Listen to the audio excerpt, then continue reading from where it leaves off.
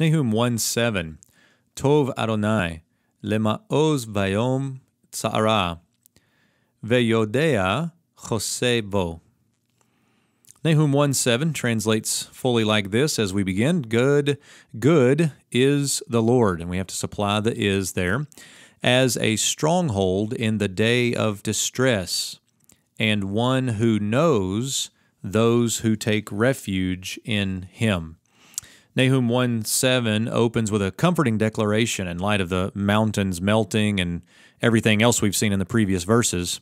Good is the Lord. This verbless clause gets right to the point.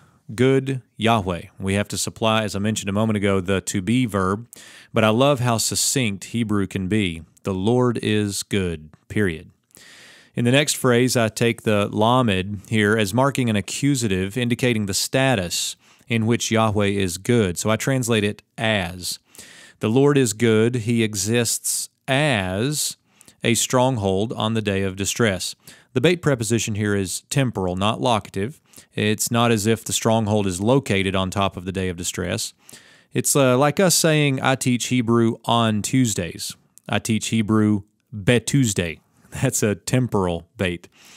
The final clause has two participles the first describing Yahweh, and the second, those who respond to his status as a stronghold. The first participle is the Qal participle masculine singular of the root yada, meaning uh, the one who knows. Participles often express present tense indicative verbs, so we could have here just simply he knows. The second participle is the Qal participle masculine plural construct of the root chasa, meaning to take refuge.